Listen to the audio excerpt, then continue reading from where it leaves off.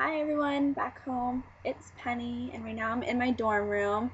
And I just want to say hey, what's up to everyone back home, including Han, Lena Lily, Goodbye, Solon, Jason, Grant, Darren, Ronnie, Keely, etc. Vicky, everyone else back home, and everyone else at college. I miss you guys and hope you guys are having fun. Right now I'm off at college, and I'm in my dorm room. And so some of you guys might be wondering, what does my dorm room look like? Well, today it's kind of a cloudy day, but I'll show you a little bit of what my dorm room looks like. I don't know where to start, but let's start with my closet. Seems easiest. Okay. So here we have my closet. I share it and that's pretty much what it looks like, my shoes, and I just wanted to show Lily these because I actually put her wonder hanger to use, and I have a bunch of other stuff in there. Up there, I keep I keep some of my bins and my clothes and laundry detergent. And then, of course, this is my shelf and I keep some of my clothes, some of my school supplies and things and stuff down there. Down there I have my laundry bag and a bunch of other stuff.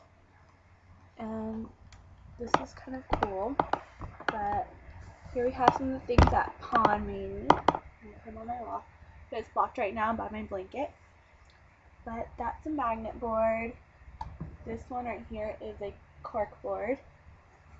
And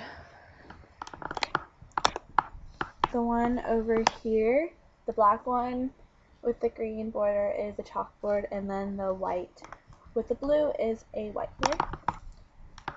And if you turn, I have some pictures of people, some pens, glasses, and then look over here. Yep, it's a bunch of pictures.